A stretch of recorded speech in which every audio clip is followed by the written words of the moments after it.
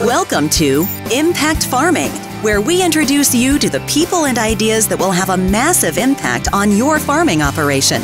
Brought to you by Farm Marketer. Sit down, start the engine, and let's roll with today's show. With an ever increasing demand for potassium due to increasing crop yields, there is a need for a better source of potassium with improved availability and uptake potential. Alpine K-Tech is the most plant available form of potassium and is able to enter the plant quickly and easily. As a foliar application, K-Tech is tank mixable with many crop protection products, thereby increasing the grower's resource use efficiency. K-Tech offers balanced fertility and an added energy source for the plant. The latest development of premium crop nutrition is doing a lot more with a lot less for your crops. Learn more at Hello, everybody, and welcome back to another episode of the Impact Farming Show. Today, I am so excited to have Elaine Froese back. Welcome, Elaine. Glad to be here. How are you doing? Uh, crops are looking good. Got a million dollar rain last night, another half inch. Canola is blooming, flax is blooming, and people are doing summer projects. So we're very thankful.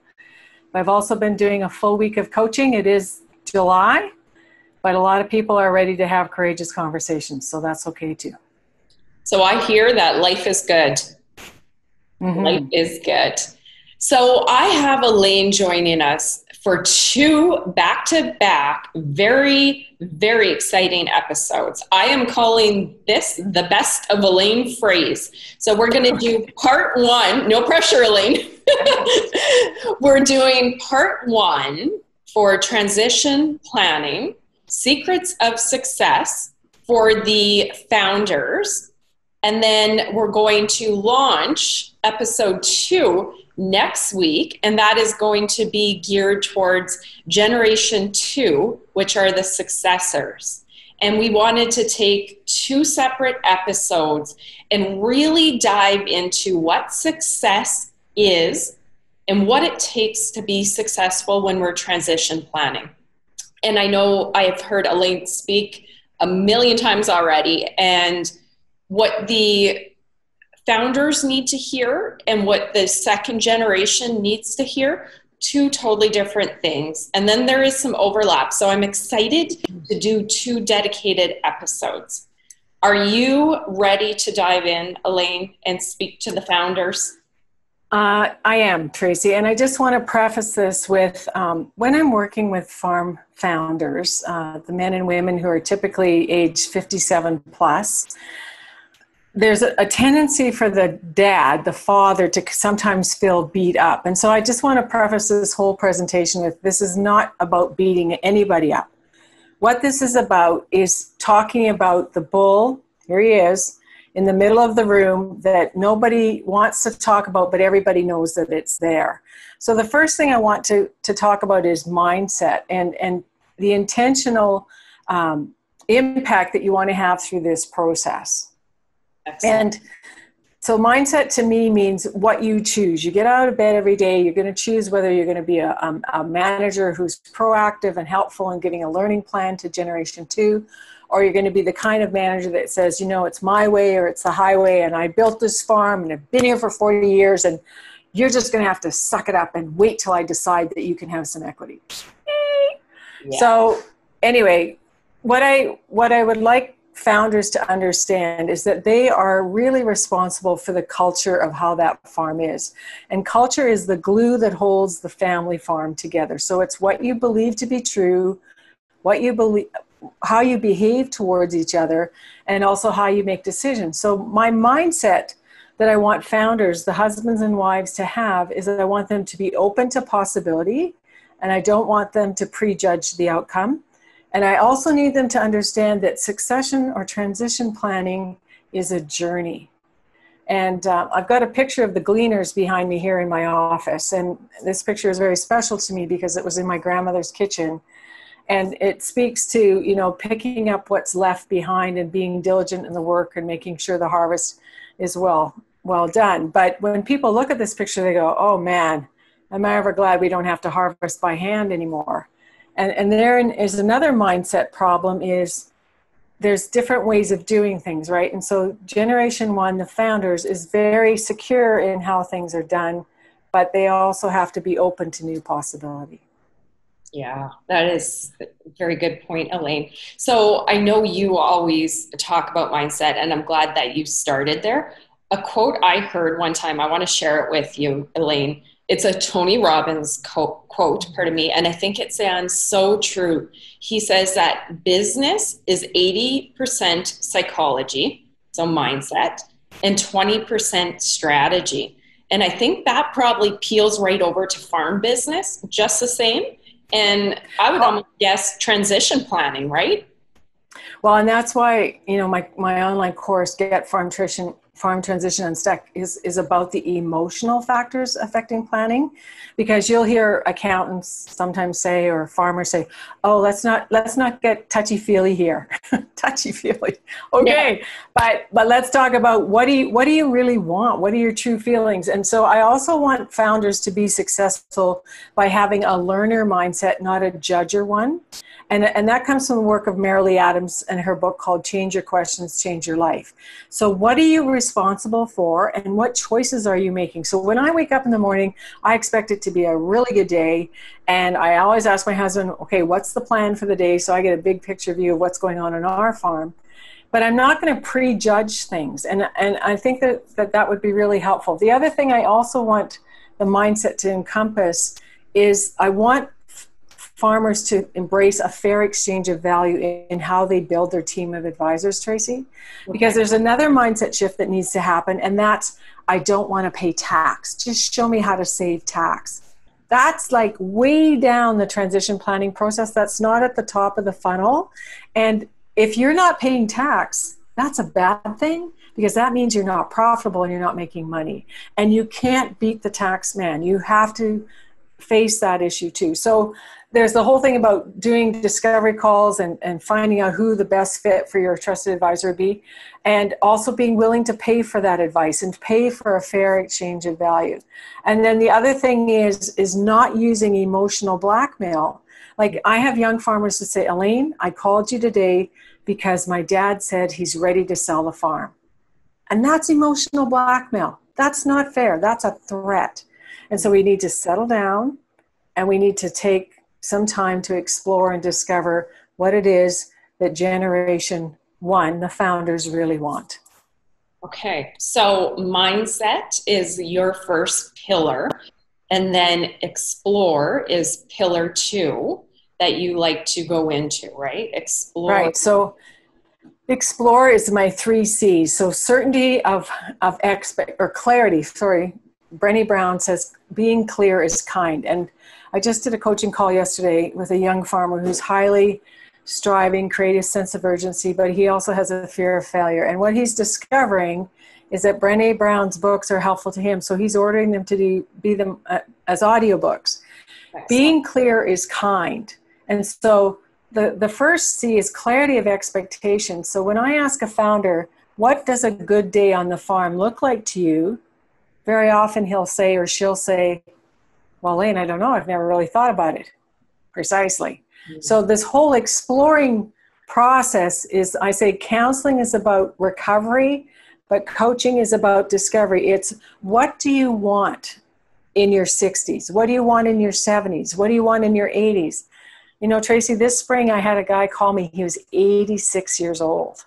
And my oldest client died on me. He was 96. And I only he's only my client for 3 months. So that's a whole other story. But the, the whole point is is that whatever age and stage you are and i just wrote a blog on this it's important to pay attention that in your 60s it's about letting go and starting over again. And letting go is a very scary word to people who really like to have power and control because they know how this farm is supposed to run right? Yeah. So there's that whole letting go thing. And then and then then there's the spouses. So you talk about succession success for Gen 1. What does dad want on this hand, but what does mom want on this hand? And sometimes it's not the same thing. So I have another couple I'm coaching right now where she takes off for Mexico or the South for six weeks of the year. He maybe he max will go for two. Okay. But she's found out that if she wants the life she's always wanted, some of that's not going to include being with her husband because he's just not willing to go there. And so it's okay. This my book. Yeah. Well, right, but and so a helpful phrase when you're trying to have those conversations is where is it written that farm women cannot travel with their sisters or their best friend? Love right? it. So when you use the pair when you use the preface, where is it written? So where is it written that farmers have to retire? So there's another exploration. Are you going to retire? No way, man. I'm never going to retire. I'm dying here with my boots on. Oh, okay. Now we're clear. There is no retirement plan, it's a change of roles. And so, how these bodies are aging. So now we have a 70 year old farmer. He's just finally getting around to doing a transition plan. What does a good day on the farm look like to you, and what do you want your role to be? And typically, they will say to me, Elaine, I just want to work when I feel like working and not show up for work when I don't feel like working. Fine.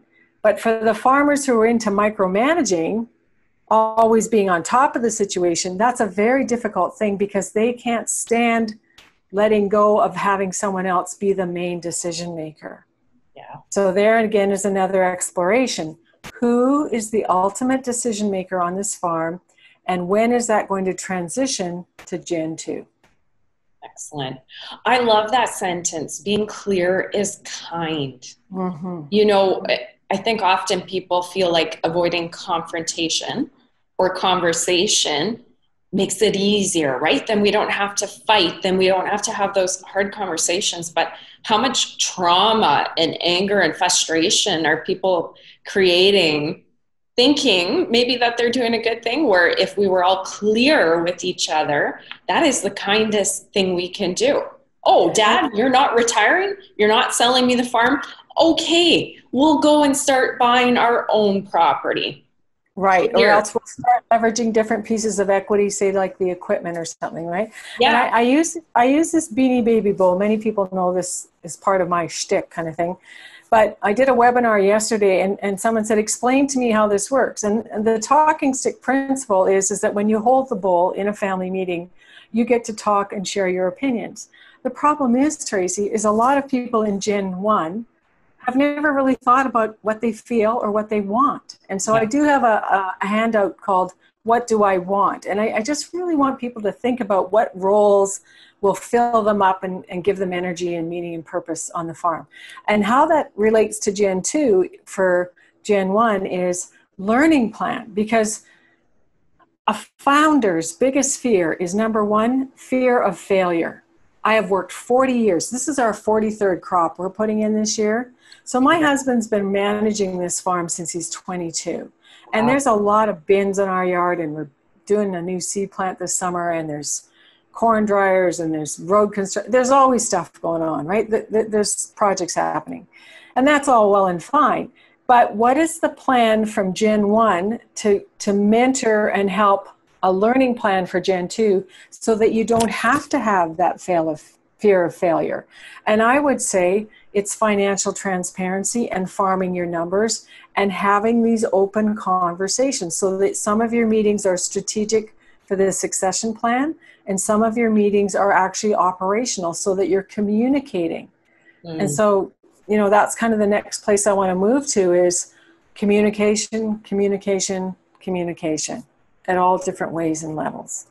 I love that. And you know what? I think communication, and you know better than I do, Elaine, you have you have been sitting at farm tables and having Zoom meetings with farmers for how many years now? You spoke to how many farmers? I'm going to guess communication might be one of the big issues on a lot of transitions. Is that it's, a good it's, guess? It's, it's yeah. When I when I ask people in my coaching profile what's their main desire for coaching, very often um, it's communication. And the other the other issue with that, the other problem, and I'll hold these up. This stands for the family, so it's red like a heart. This is green like money, so this is the farm business. So these are the two of the circles. The three circles are the family circle, the business circle, and then the other circle would be the wealth circle. And if you can just understand that you know I, i'm working i'm working a lot this week i don't know what i don't know what was in the water but you know there's a lot of families right now that are just up to here. And and the other problem is is that generation two is getting so frustrated, Tracy, that they're starting to read books by Dr. Henry Cloud called Necessary Endings, and they so they say, "Well, Elaine, I do have options, don't I?" And I go, "Yes, you do." And that means they're this close, like they're getting really close to, to just saying, I'm done.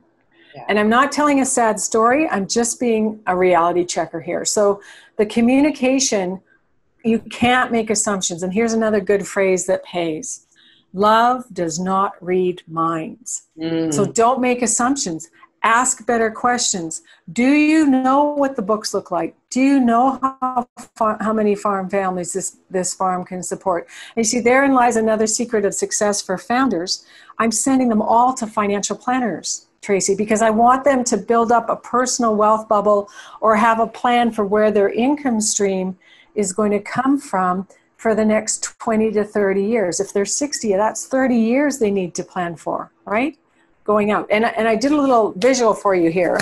I just got, I have these three questions. You can see it income stream, home yard, and fairness.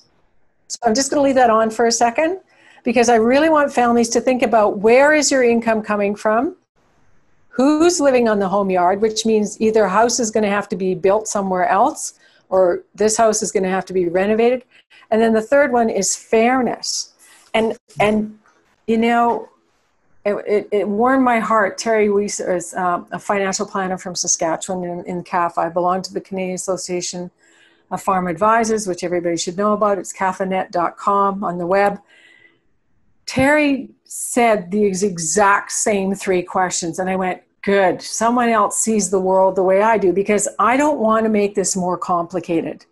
And I think one of the pushbacks of getting this done which is why I say procrastination is killing agriculture.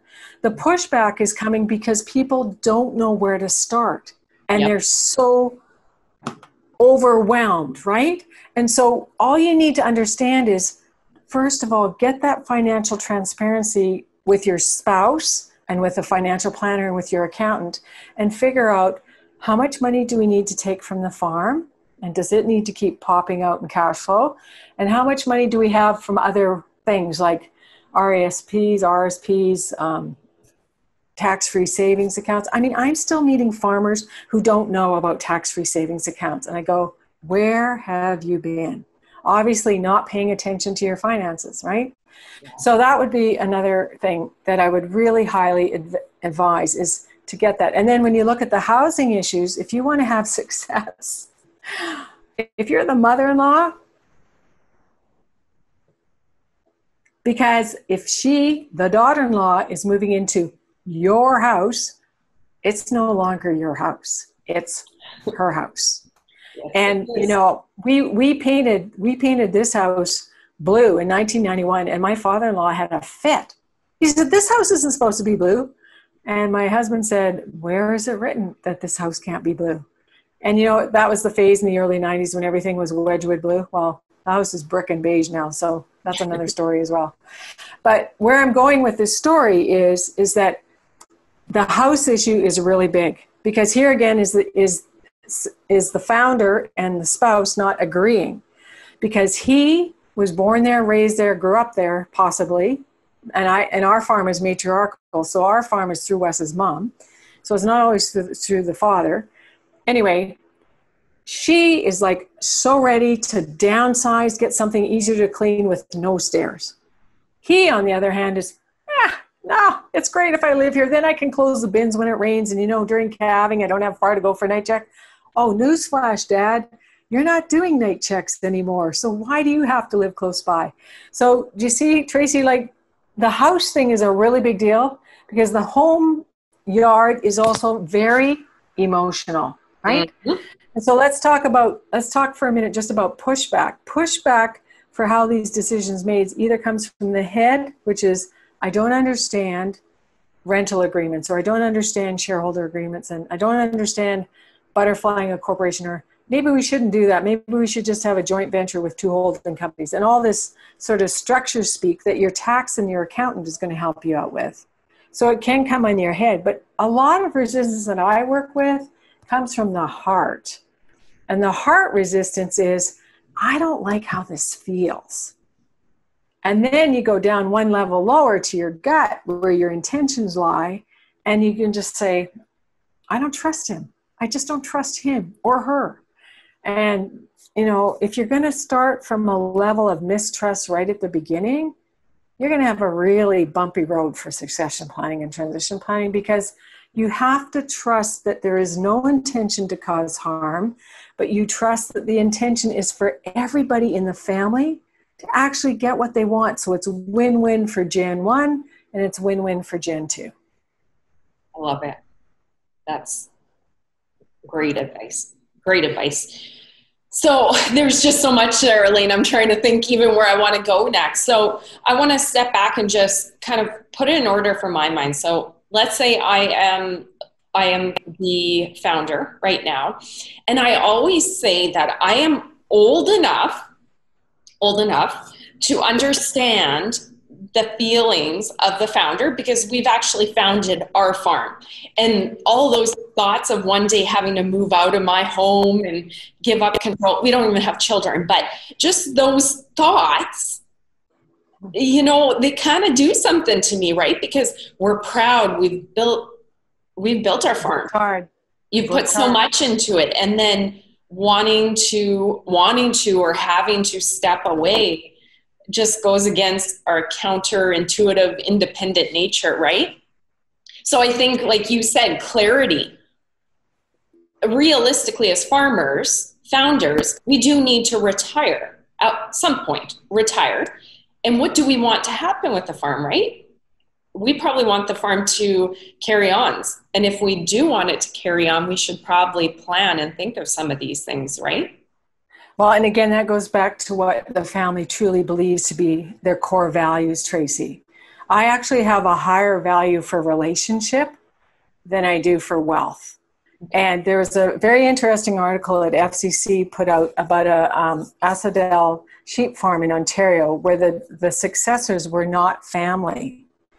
And the vendor was a very wise man. And I love what he said. He said, My family is my legacy, not my farm. Mm. So he was he was able to separate very clearly that this was number one to him. His family was number one, and his farm business had succeeded, but he had groomed an interested party who was not family to be part of the of the legacy of that business. And so there and again, you see, we don't make assumptions, right, about what what you want your true uh, legacy to be. And in a lot of families, it can be both. It can be a, a, rich family, rich in relationship, and a profitable farm with family members all working together uh, in family business.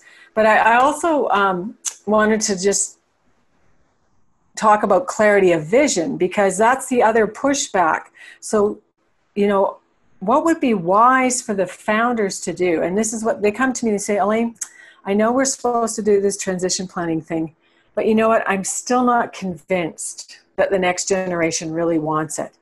And I said, okay, why don't you ask them to give you a business plan and tell them what their vision is? Yes. Love and it. you see, yeah, well, let's put some, you know, we can talk about airy fairy things till the cows come home, but it's really helpful when you actually put things down on paper and you can attack the issues on the paper. So the other thing is it, that is important about building the team of advisors and then the communication piece is when I send a founder and their spouse to a financial planner and they come back and they say, Oh, Elaine, we don't have enough money to do what we want to do. I go, Oh, so how much do you want your children to buy?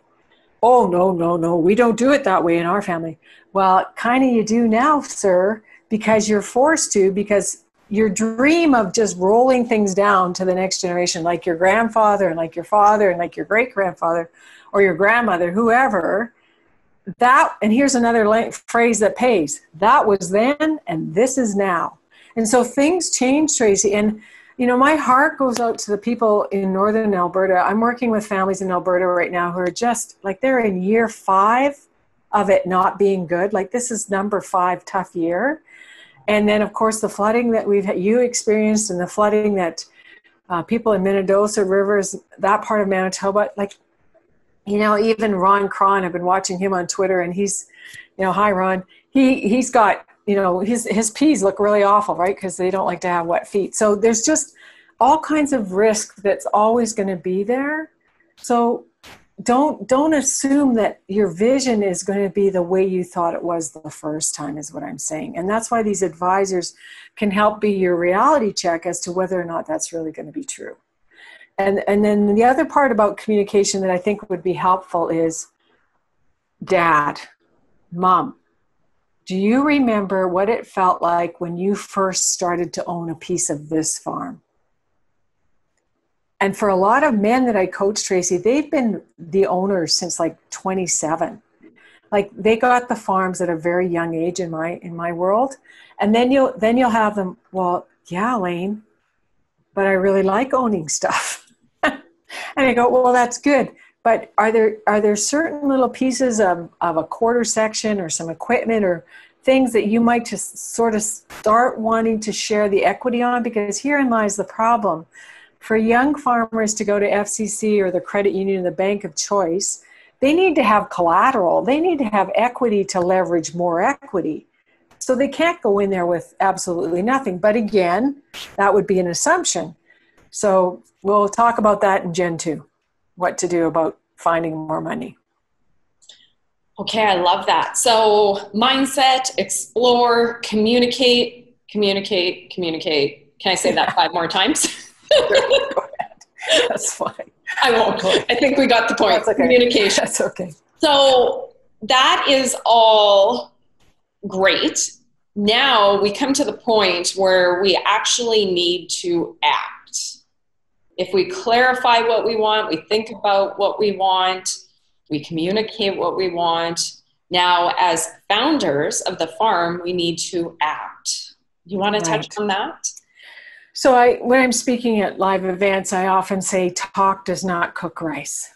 Right? We can talk people can watch all the impact farm videos sorry tracy you know i love your videos obviously and there's lots of great ideas but we can have all these great ideas washing over us and then do absolutely nothing right so my practical tool in this segment in, in terms of getting things done is i want farm families to go into their desks and their offices and find a binder find something that they can repurpose. And I wanted to have eight tabs. And the tabs would be business plan, lifestyle plan, i.e., financial planner, lawyers, wills and estates, a plan for where their debt servicing is, and then also their coaching and communication and their family meetings. So just a way, it's a, it's a planning binder. And, it, and a lot of women, particularly who love to organize, are much neater than I am. They, oh, great, they get to make a binder. But you make the binder, but it's a place to collect all of this information. And it's also a way to chunk this down. Because remember, I said earlier on that many farmers don't get started in doing the work of transition planning because they feel overwhelmed. Their brain is going like this, and they say, Elaine, just tell me, where do I start? So, the first place I want people to start in acting is with themselves sit down with a journal, a blank piece of paper. I don't care. My husband did it like in six words. Where do you want to live? Wherever Elaine lives. well, oh, was, yeah, we just Aww. celebrated our 39th anniversary, so that was a good thing. So staying married, staying married is also a good succession plan. Mm-hmm. Um, number two is uh, so where do you want to live? How much money do you need? He said 120,000. And he said, and then the third question is, um, what does a good day look like to you on the farm? And my husband said, to work when I want to and not have to start trucks at minus 42. My son can do that. Okay, so he still wants an active role, but he's very tired by, by 8, 9 o'clock at night. And he doesn't want to work 100 hour weeks anymore. So, what I'm saying, Tracy, is having a clear sense of your own self of what you want and then then joining together and having that conversation with your spouse because I have sat with 72 year old men who are happy to go putzing and puttering in their shop. And the woman is saying to me, Elaine, I just want to move to Winnipeg and go to Bible studies and go be, be in my quilting club and be closer to my grandkids.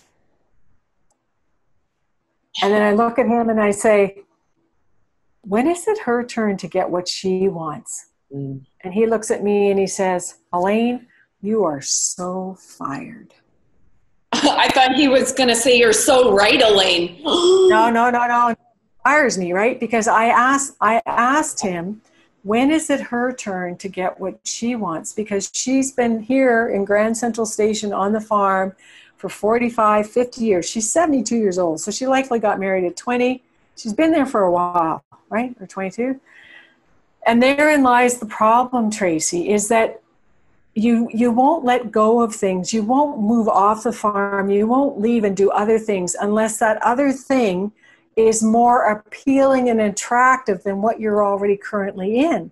And that's where men and women usually butt heads because she's ready to move into relationship, family, fun, different kinds of roles, maybe charity, working at the MCC thrift store, doing quilting, um, not having to worry if the, it's going to rain, freeze, hail, or whatever on the crop, although she probably still will because she's you know intimately connected to agriculture. But my point is, is that when the founder and the spouses don't agree, you have to start there first, and that's why there may be a total burnout and a sideswipe of anything getting done if the two spouses don't agree. The other issue that we haven't even touched on yet is there are cases in Canada where on these 195,000 farms where there's more than one Gen 1. There's two brothers. Okay. That are both Gen 1, right? Right. And of course, these two brothers don't see eye to eye and so they're going like this. And maybe one of these brothers is married, and one of these brothers is the traditional bachelor. And so he has a totally different vision for the future than the one over here. And, and, and again, when I get brothers farming together, and we can talk about this more with Gen 2, I always want from the very beginning of the succession plan a way to separate them so that they have either holding companies or joint venture or some shareholder agreement where it's very clear that after 10 years or 15 years or 20 years farming together, there's an easy way for them to go into their own individual operations. And so, for anyone watching this video who has a brother or a sister that they're farming with and it's becoming difficult, it's, it's even more important that you have um, that communication. The other thing is, I want you to also practice good self care because this can get really tiring and so that's why the binder helps chunk it down into smaller pieces. And I want you to also just have some healthy boundaries because here's the other thing I see happening. You know, the price of land has kind of been going up and up and up for the last 30 years, right? Mm-hmm. So, when are we going to do the video on greed? Oh boy. Yeah, that would be an exciting video. I think that would probably be my most popular episode. Let's do it. yeah. You know, and, and, we're laughing, but it's not that funny. No, because we know, no, we know that the vision is typically to keep the farm intact, which means the farmland, and that there's a lot of fighting over the farmland. And I'm just going to put my, my little chart up again here, just as a reminder. That would be the fairness piece. And so, fairness is, uh, in my world, what is it that you do as a founder to help everyone in the family be successful? Every child is going to be different. Some are savers, some are spenders. Um, you will have Gen 2 who will come to Gen 1 and say, Mom and Dad, you've worked so hard. I just want you to have a decent life. Could you please just have some fun? and and so they don't expect anything other than that their parents would have a decent life and people as you know are living longer right so it's really important to to set healthy boundaries around those expectations in the family circle in the business circle and in the wealth circle and what and what's expected and just as a side note i have a really good fairness video on my youtube channel at farm family coach that is really worth a watch because that I think is another thing that Gen 1 is really afraid of because what promises have they made secretly or quietly to the child who's not launching or not thriving or needs more help? And does the farming heir know about that? And are they expected to carry on that tradition when Gen 1 is gone? So I'm, I'm a big believer, Tracy, in no secrets and I'm also a big believer in empathy and putting yourself in the other person's shoes. So, do you remember what it felt like when you first owned something on your farm? And can you imagine what that would feel like for Gen 2 to have this transition process of shifting equity over and shifting management over so that your farm can continue the, the, the wonderful success that it's had in the past. Love it. Elaine, you know, and I'm sure everybody watching this episode is doing the same thing that I'm doing, going, oh, I know that person. Oh, that. And I'm not going to uh, to be confidential and not name names or whoever, but I'm going through that and thinking of different circumstances in my life, very close to me, where the founders had good intentions on their own. I don't think the conversations were had, the knowledge, whatever the case was. They wanted the farm to carry on, but they didn't want to leave. They didn't want to give up control. There was no communication. And guess what happened to both that farm and that family? Yeah, fragmented family, fragmented farm, right? Yeah. And my hashtag on Twitter, Tracy, is hashtag healing stories number four ag. And I, I just want to encourage people, you know, we're doing this now by Zoom because this is the reality of uh, the great pause. Um, I'm now a certified virtual presenter, and I spoke to a credit union rep this week. They have 10,000 members. And again, if you're on a board or an association and you're thinking, wow, we could really use this message. Well, we have the forum for doing that, right? And and we're doing these videos now on Zoom. This is exactly how I do my coaching. So there's no excuse for people not to reach out to their advisor of choice and have these conversations and start putting all the pieces together. And the other thing I want viewers to understand is I am in exactly the same position as you are. I am a founder now. My parents are deceased, my in laws are deceased. I'm on my third transition plan. I did one in 1992 with my in laws, which was beautiful. They, they transitioned land to Wes's sisters. They were very wise. They came to this country in 1926 with a suitcase. They built up a farm, they built up some wealth, but they were wise to start giving gifts with a warm hand. So Wes's sisters were in their 30s when they inherited a $67,000 quarter. And of course, sold it to us, which was great, right? Because then they got something to help them when they actually needed it, and we got the right to keep the farm intact. So there's no one right way of doing it, but what people have to have is that mindset of let's not prejudge the outcome. Let's be kind and respectful to everyone and let's keep talking, but also not talking.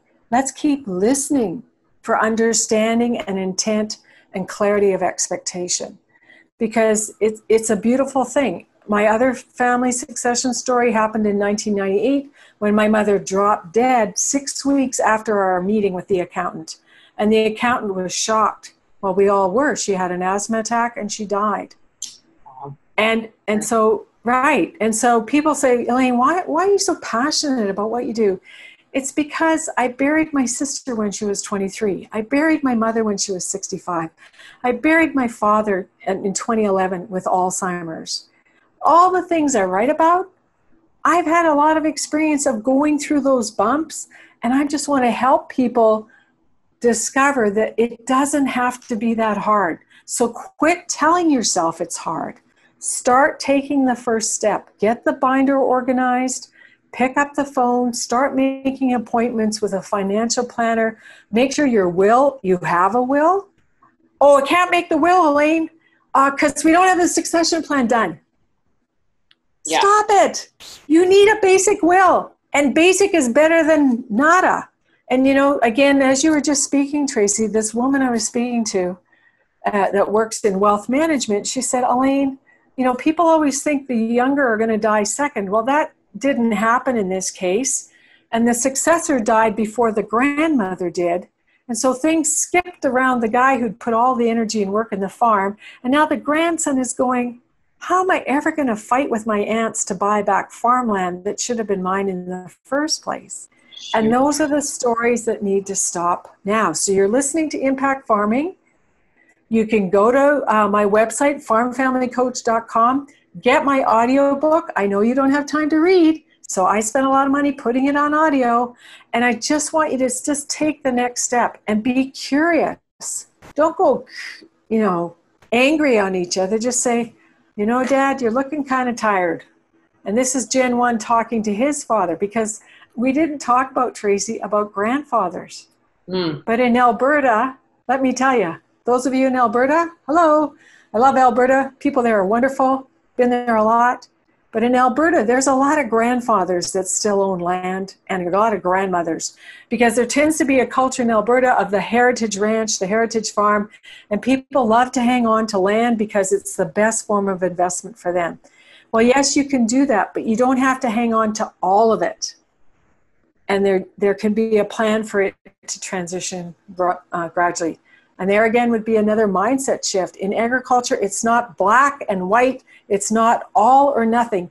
And you know, I could start dancing for you. It's called the polarity. And a polarity means something that we have to manage. And what we have to manage when we talk about transition planning is that we plan and then we act. We plan some more, we act some more.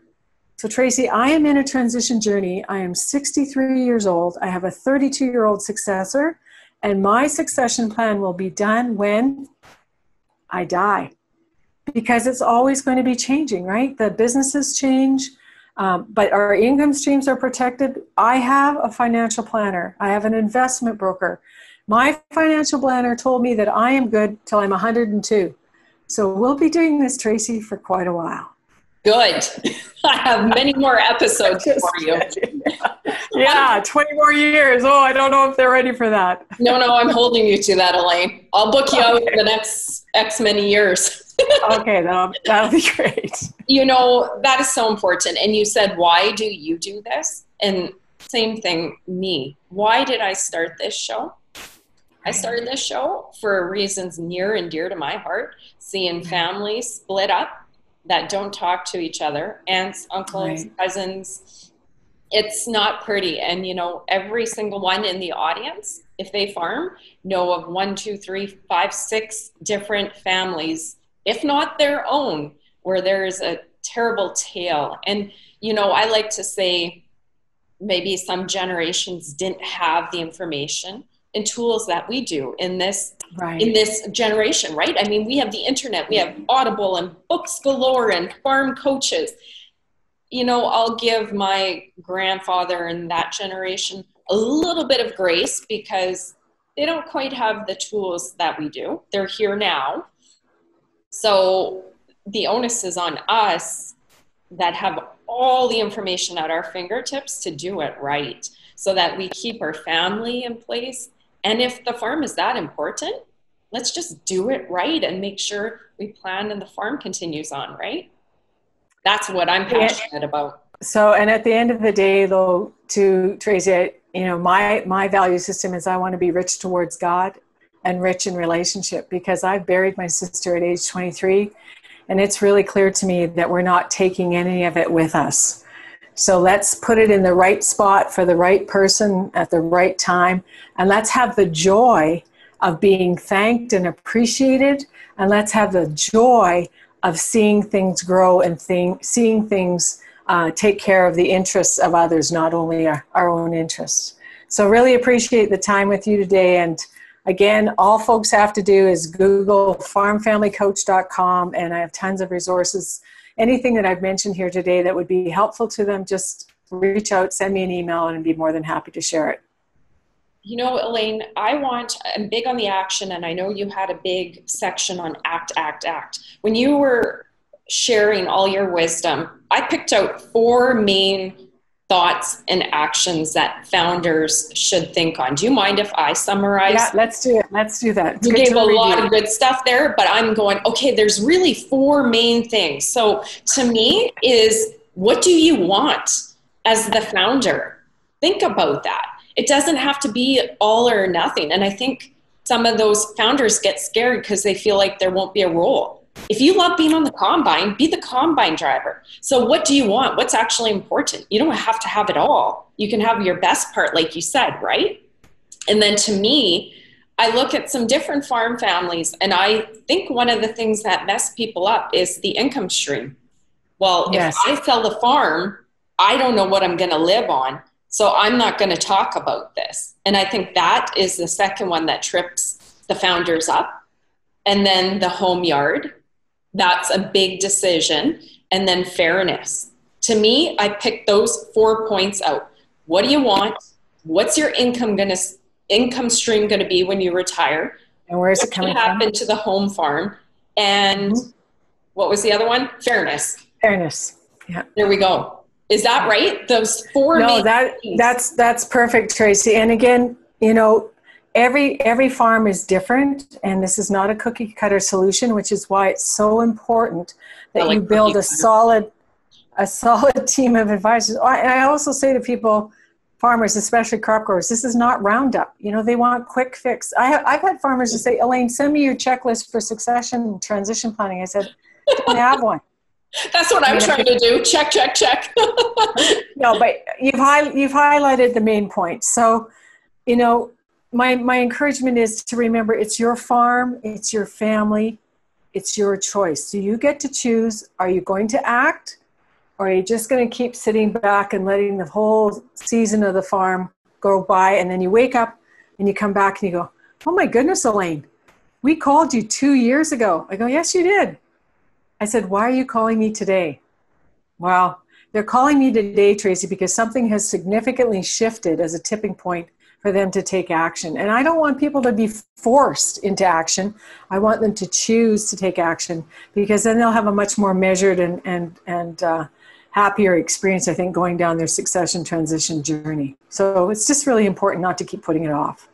I want to give a call out to you and other farm coaches because sometimes I find as a female, uh, female or male, sometimes we get stuck in our own bubble and we only have the knowledge that is in our heads and then we can't find the answer so we chase ourselves around and we we just can't come up with anything so then we put it off.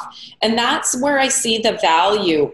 Let's say i'm a founder 70 years old 50 years old whatever the case is and I'm thinking of the next steps, would it not be a good thing for me to pick up the phone or do a Zoom with somebody like you, Elaine, and go, okay, here's my situation, and then just do that verbal dump and go, yeah. I'm not sure about this. This is what we're at. How can I start thinking about this? And again, just then Elaine goes, hey, and then you go, okay, and then you start to make a step because you have new knowledge. Is that how farm coaching would go? Well, and that's and that's why we have CAFA, Tracy. So the Canadian Association of Farm Advisors is all across Canada, and if you go on the website at cafanet.com, you can find an advisor for whatever province you're sitting in. But I have colleagues in every province across Canada of advisors that I trust and I like their work, and so I'm also a connector. So often people will call me, give me a um, a 20 minute, you know snapshot of where they're at and then i suggest people that they can get connected to. So that's just really important because not everybody is, is a good fit for everybody and the chemistry has to be right but it also has to get done. Amen. Okay perfect. So on that note if people want to learn more about your work your books your course coaching where can they find out more about you and connect? Just just go to farmfamilycoach.com and if they'd like to send me an email, just go to my contact page. I also would really suggest that they sign up for my blog because it's coming out quite uh, regularly and lots of good information there too that might tweak some other resources that they can handle. Excellent. Just reach out. And also YouTube, Farm Family Coach. Just go to youtube.com and Google Farm Family Coach. And if, if they did one thing from this presentation today, I'd really like them to sit down and watch the fairness video because I think it's going to rock a few chairs. Mm, I like it. I have seen that one. I should do a refresher. Thank okay. you so much, Elaine, for the work you do. You are a pillar of the agriculture community, and we are so grateful to have you on the show and as a champion and coach in our industry. So, thank you for joining us again, Elaine. Thanks. Just get her done. I love it. And thank you for joining us. If you love this episode, and I'm sure you did, like it, subscribe to the YouTube channel, and share it out so other farmers can benefit from Elaine's wisdom. Thank you, and see you on the next episode. Bye. You've been listening to Impact Farming. For more great episodes and articles designed to help you manage and grow your farming operation, head on over to farmmarketer.com. Don't forget to sign up while you're there. We will see you on the next episode.